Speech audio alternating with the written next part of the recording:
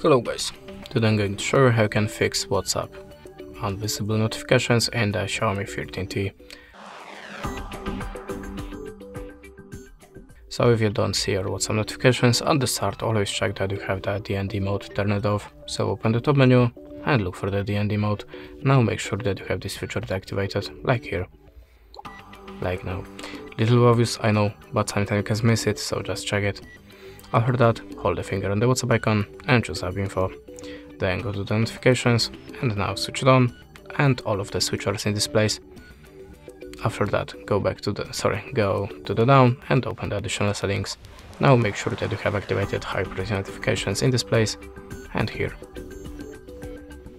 After that, go to the restrict usage and unselect the Wi-Fi and mobile data, like here, and click on the OK. You can also check the uh, storage to clear WhatsApp notification, sorry, uh, so clear WhatsApp data, so just the all data or the cache files. After that, log in again to the WhatsApp and check your notifications. You can also try to reset your network settings, so to do it open the settings, choose the SIM cards and mobile net, sorry not this one, choose the connection sharing and swipe down to the reset Wi-Fi mobile and Bluetooth. So just the reset settings and tap on uh, OK button.